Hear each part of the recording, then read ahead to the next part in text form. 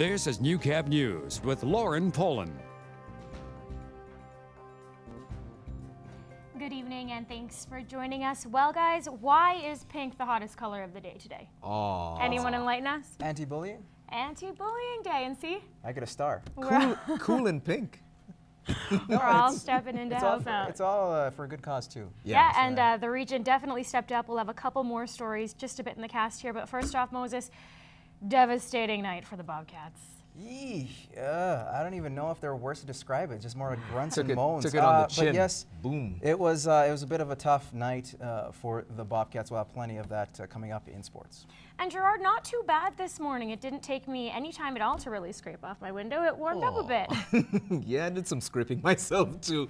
Yeah, but we, we got some snow on the way as we've been hinting all week long. It looks like tomorrow is the day starting at midnight thereabouts. But let's relive the events of today firstly because we saw a high temperature today of minus 7 and we're still at it from just about 3 o'clock. And that wind chill though has not been our friend. Started off at minus 23 in the morning and it's up to minus 11 at the moment with the winds out of the east at 11. We're going to see a buildup of cloud cover along the uh, evening as the evening progresses and then on the after midnights going before morning we're expecting some snow across the region. But the details of that we'll give you a little later on in the cast. Word of a nationwide drug shortage is reaching more and more residents, and it's starting to stir up concern as to what exactly it means for patients. Elise Cox has more on how it will affect people here in our region. Um, what is what if there was no medication and you had to give birth? What would you do? Winona Moreland is a doula and assists in the birthing process. She has seen an increase of women being induced during pregnancy over the years. There's a very high rate of inductions um, and interventions. So if you get induced, which is one kind of drug, um, often, not always, it will lead um, to harder labor, and so you will end up getting an epidural, which is another type of drug. A process which wasn't a concern two weeks ago until the drug company Sandoz announced an anticipated shortage. It had to do with some remediation that they needed to do at their plant in Quebec. And so, because there would be a disruption in the production of the injectable drugs, we could anticipate uh, a disruption in the supply of those types of drugs. The drugs include anesthesia, antibiotics, pain management, and anti-nausea medications, mostly in the injectable form. The goal that we have right now is to reduce wastage um, in the drugs that we do have uh, uh, on board. Um, we're organized to manage uh, the inventory. Um, every week we will be getting an allotment of drugs, although we anticipate it may be less than what we typically order. And with the shortage, Prairie Health North Region is working in conjunction with other communities to manage the problem through teleconferences three times a week. At those meetings, we alert one another to what our um, impending shortages might be, what we are short of, and at some, um, in some instances, it's possible to do a redistribution. The shortage is a rare occurrence, but may have women thinking twice about medication alternatives during birth.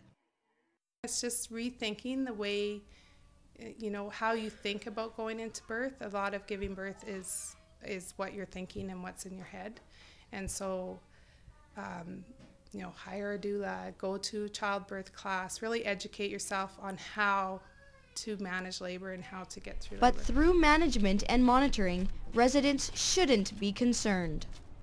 No, I don't think it's something that um, the community should be alarmed about, um, but they need, do need to know that there's a, there is a, a situation that is that does exist that we're dealing with, and uh, that we're doing everything that we can to manage that situation. Only elective procedures are expected to be affected by the shortage. Elise Cox, Newcap News. The Prairie North Health Region has announced it will be opening an after-hours medical clinic in the border city. Local area residents will finally be able to access non-emergency medical care without having a family doctor. Caree McCullough has more.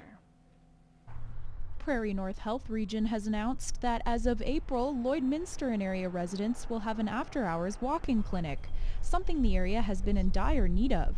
We're developing the after hours clinic um, to try and respond to the number of um, Lloydminster residents who don't have a family physician uh, who are currently coming to the emergency department to receive basic access to a physician. The clinic will be operated with local physicians who will be working overtime to try to meet the area's demand for basic medical care in a reasonable time span. But the physicians in our community um, who are you know well aware of the concerns and are equally as frustrated as everybody else by the inability to see people um, in a timely way. So they've gotten together and said, we will man this after hours clinic after their regular day in their clinics. The opening of the clinic should help decrease the wait times at the emergency unit. Patients attending the clinic must require non-emergency care as there are limits to what the clinic will provide. The clinic is meant to be um, a response to some basic medical care, so there will not be any casting or suturing done at the clinic, nor will there be um, narcotic refills done. Caree McCullough, Newcap News. The final touches have been completed at the new Robbins Learning Center at the Royal Alexandra Hospital in Edmonton, thanks to an artist from St. Walburg. Susan Velder brought to life sculptures of the couple the facility is named after. It will serve as a way to honor the generosity of Bill and Mary Jo Robbins and will be displayed inside the Robbins Pavilion. The work was unveiled today during the official opening of the center. Premier Brad Wall is leaving for London today in hopes of recruiting new investors. Wall will start with a two-day conference in the UK before heading to Dublin for a labour recruitment mission. Employment Minister Rob Norris and 27 Saskatchewan employers are also making the trip to Ireland. They're trying to fill just under 300 jobs available immediately for Irish workers. The city is opening the doors of communication for residents to voice their opinions and soon they'll have a direct line to the mayor. Mayor Mulligan is starting a new initiative called Moment with the Mayor, where residents can make appointments to discuss burning questions they have about their city. I had jaw with Jeff Sessions and they were excellent. I have my blogs and social media, but not everybody's comfortable in those forums. So I wanted to create another opportunity for the public, those people that say, I've been thinking about this, I've been thinking about that. I want to give them an opportunity to connect with the mayor if they want to. The concept isn't a new one. Many cities have similar programs put in place, and Mayor Mulligan thought it was time to include the border city. Only good can come of it. And so I said, why wouldn't I adopt it and see if I could turn it into something good for Lloydminster and residents? The program is expected to include 8 to 10 appointments with residents once a month on Fridays. Kayla joins us on the desk now with a quick peek on what's in store for around the region tonight. I know you and I took part in Freedom to Read Week, so that'll be part of it. What else do we have in store? Definitely, it was a lot of fun. and coming up at 7.30 tonight, we're going to meet some very special, very incredible local ladies at the Border City's very first Inspiring Women's Conference.